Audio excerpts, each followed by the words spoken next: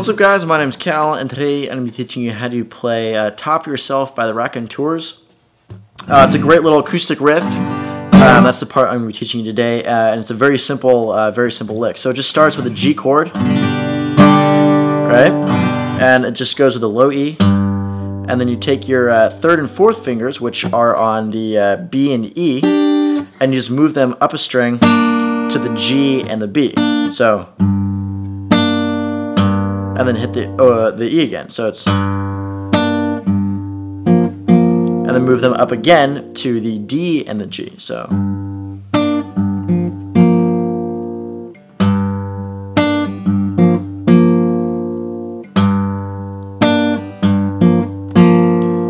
And then at the end of it, he just adds this, which is just open D, hammer onto the third fret with your third finger, and then open G. So all together.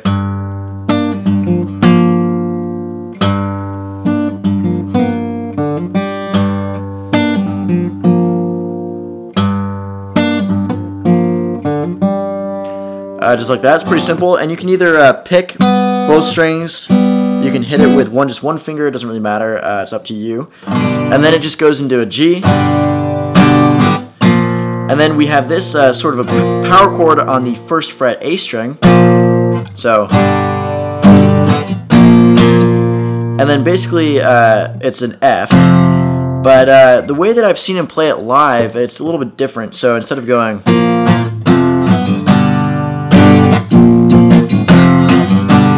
uh, he actually just does this, and then uh, instead of playing the F, he just takes his third finger and moves it up when it's normally on the third fret D and moves it up to the A. So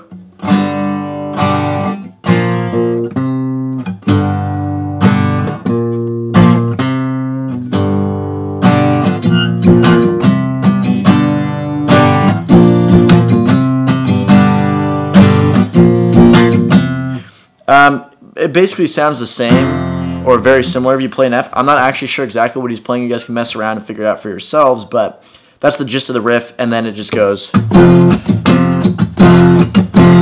which is a power chord on the first fret, low E string is an F, and it's just like.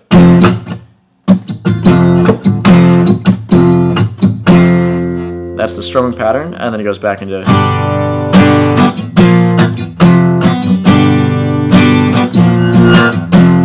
Um, and he uh, sometimes strums it, sometimes finger picks it. Uh, it's really up to you again, whatever you feel more comfortable with. Uh, it's a great way to practice finger picking.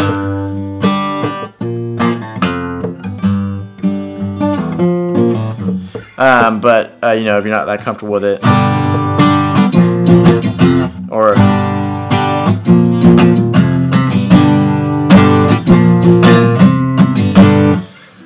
Um, that's pretty much it. Uh, there's a couple other times where instead of uh, going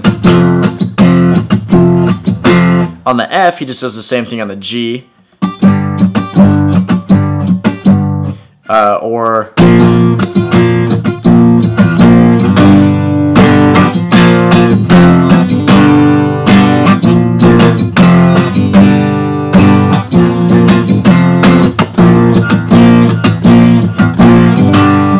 um, so on and so forth, and he goes back to the opening riff.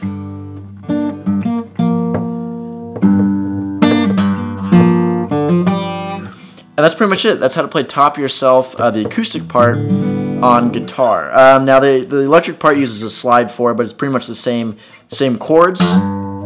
Uh, G, F, all that stuff. Um, but that's pretty much it. That's how to play Top Yourself. Hope you guys enjoyed, and I will see you guys later.